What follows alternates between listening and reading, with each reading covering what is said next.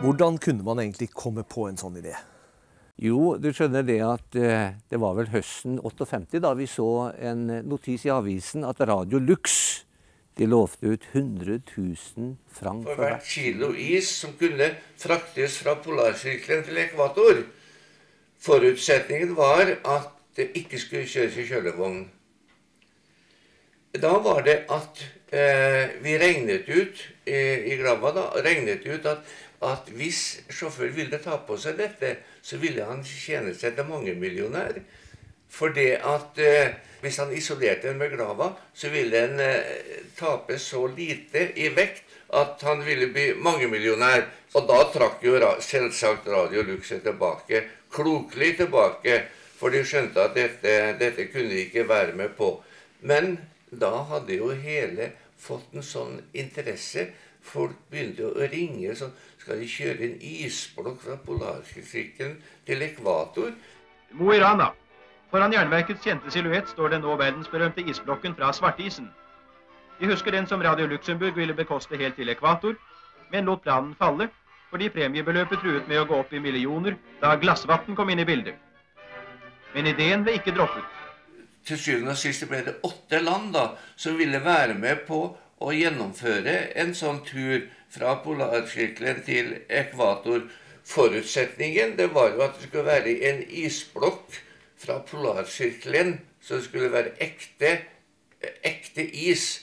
Den tusenårige isen oppå svartisen. Og derfor så engasjerte vi en glasiolog, Listøl, til å være med opp på svartisen. Og det gikk jo ikke an å, å sage ut en isblokk på, på tre tonn, så det ble sag i små terninger på 200 kilo. Og så blir det fraktet ned fra polarsirkelen til, eh, ned til bygda for å bli frosset sammen til én, isblokk. Glassvattindustrien i Europa slo seg sammen med et oljeselskap og en bilfabrikk, og her legges siste hånd på forberedelsene. 800 kilo glassvatt pakkes rundt isblokken.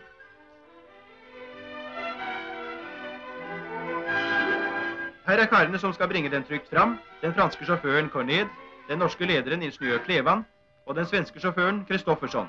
Man kan jo tenke seg den gangen hvor liksom, det, var, det var jo helt andre forhold enn det er, er nå i dag. Det var jo stor oppstandelse både oppe i Mo i Rana og nedover i Europa. Eh, liksom De begynte å skrive mer og mer om det. Og eh, avskjedene ved Mo i Rana det ble jo høytidelig eh, markert med at flere korrespondenter i, både fra eh, Europa og til og med fra Amerika kom opp og, og var med på denne, denne avskjeden der oppe i Mo i Rana. Da vi startet fra Mo i Rana, så ble det kringkastet i, i radio direkte. Og den gangen var det enda verre med å få føre inn reklame i hele foretakene. Det skulle ikke nevnes Glava. og Den gangen het det jo Glassvatt. da det Glava er kommet som nyere navn nå, men det heter Glassvatt. Og jeg fikk beskjed av han at jeg ikke fikk nevne Glassvatt i den forbindelse under intervjuet. Og så spør han meg du er ikke redd for at denne isblokken skal smelte da, Klevan, gjennom, gjennom Sahara. Ja, men det er jo akkurat det vi skal bevise, sa det er jo den isolasjonen som gjør. Og derfor så må jeg få lov å nevne at den er isolert med glassvatt. Ja. Og da var det liksom sånn at det, det gikk, da. Reisen skal gå gjennom mange land helt til ekvator. Ordfører Granhaug i Mo i Rana undertegner et hilsningsbudskap til dr. Albert Schweitzer. Det som blir igjen av tusenårsisen fra Norge, og det blir visstnok ikke lite, kan kanskje komme til nytte i jungelen ved Lambaréné. Og så går startskuddet for langturen.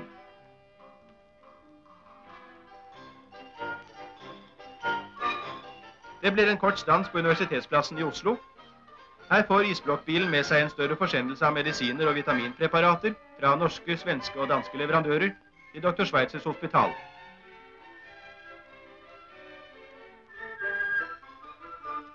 Og dermed kan vi ønske et stykke norsk vinter god reise til solsteiken under ekvator. I Oslo, når vi kom dit, så ble det tatt om bord 300 kilo medisiner og det er ganske viktig. Det var eh, medisiner til doktor Albert Schweitzer. Og for oss som var med på turen, så var det dette eh, Ja, svært dette. For da fikk det et sånt humanitært innslag. Og eh, i avisene sto det også dagen etter eh, det at jeg sjelden, eller kanskje aldri, sett at et firma kunne få lov å drive reklame fra studenterplassen. Så de syntes det også var, var litt utenom, utenom, det vanlige. I København ble vi også veldig godt mottatt. Og, eh, og da passet vi ikke tiden så veldig godt, husker jeg. Det var eh, faktisk eh, slik at vi fikk liten tid til å nå ferga som skulle gå over til eh, Tyskland. For der var tyskerne hadde da engasjert pressemottagelse der, så vi måtte nå denne ferga. Og vi fikk så dårlig tid ved at vi måtte kjøre for fort. Og til og med der kom vi i avisene da pga. det at, at uh, vi ble anmeldt for vi kjørte for fort. Og da fikk jeg beskjed om at vi måtte ikke foreta sånn kjøring, for da blir vi mulktert. Ja, og da var det svarte det at jeg kan vi ikke få betale multen på forhånd, så, så vi kan bare kjøre. Og dette også ble slått opp i avisen at, at uh, disse kjørerne, glassvattkjørerne, de hadde også humoristisk sans. I, I, Frankrike hadde de også selvsagt opplevelser. Og selveste overborgermesteren han fant jo å invitere oss til lunsj. Og eh, vi ble eskortert da gjennom Paris' hovedgater av eh, politiet. Både på siden, både foran og bak. Satt der med hvite hansker. Og, og, og, dagen etter sto det i avisene at selveste Eisenhower har ikke hatt flottere eskorte gjennom Paris' hovedgater enn isborgfarerne fra Norge. Så vi kommer jo så frem til eh, Alger hvor det da var eh, ordnet med en ekstra kraftig løftekran som kunne få bilen opp fra, fra, båten. Det var jo mange som lurte på at det var et vågalt dette å, å, å, å kjøre, gjennom, kjøre gjennom Sahara. Det ble skrevet ganske mye om, om dette. Og eh, vi måtte til og med ha eskorte av eh, Fremmedlegion som eh, var med oss de første milene før vi kom inn i selveste Sahara. For de mente det at uh, geriljastyrkene som lå oppe i fjellene der, de hadde lyst på denne medisinen, for det sto jo medisiner til Albert Schweitzer. Men det gikk også bra. Og nå gikk det da i selveste Sahara, da, og det, det, det er jo en opplevelse kanskje som uh, som det er vanskelig å beskrive. Vi hadde jo faktisk, Bare i skyggen så hadde vi den ene dagen eh, 47 grader i loggboken. Så, så det lå der i, på, på 40-tallet, i hvert fall gjennom hele uken gjennom, gjennom Sahara. Var vi så heldige at vi kom til en oase i løpet av dagen, så var vi heldige, for da fikk vi overnatte der. Klokka seks var det lyst. Kvart over seks var det mørkt. Og da måtte vi på denne tiden, hvis vi ikke hadde funnet noe sted, så måtte vi overnatte i sanden. Eh, og det gikk jo for så bra. Vi hadde soveposer og sånn. Men det var jo godt også da å komme til oase. Det var en eh, oase vi kom til. Vi fikk overnatte oppe på taket. Han har innredet en sengeplass oppe på taket. Uh, og jeg hadde jo alle mine papirer i en veske jeg, som jeg gikk og passa på hele tiden, og som jeg var så redd for. og uh, denne vesken den hadde jeg lagt da under uh, hodeputen på sengen. Skulle, men da måtte jeg opp og se og undersøke at alt var i orden. Men da jeg kom opp det der, så lå det en fullvoksen gepard der. Og jeg visste jo ikke at den var tam. Han var jo tam, men det visste jeg jo ikke.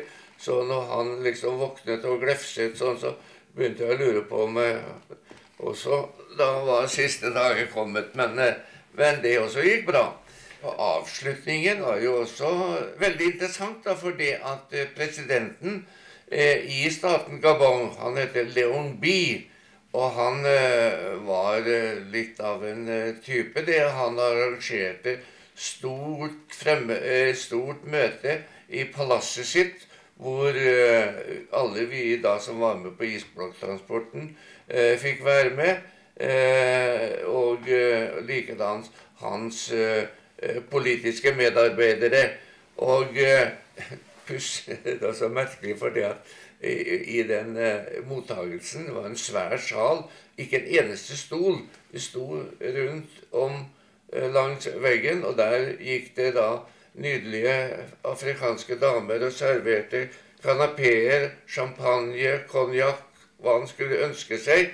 Og utpå altanen der sto det et, eh, et danseorkester og, spil, og spilte trekkspill og gitar og sånn. Så det var rene, skjære eh, Og det vet du, vi var jo litt slitne, og vi, så vi skulle ikke så mye til før det gikk rundt litt i toppen på en. Selv om den ikke ble så ille, så var det Jeg kjørte jo i hvert fall i grøfta da vi skulle hjem, fordi at uh, jeg skulle kjøpe, kjøre i Vippen, og det endte med at jeg kjørte i grøfta. Og, uh, men det, det, ble også bare som en latter. Jeg syntes det var litt moro, moro ut av det hele.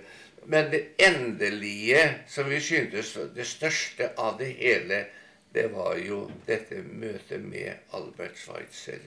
Etterpå har jeg hatt mye glede av å kunne få være leder av denne turen.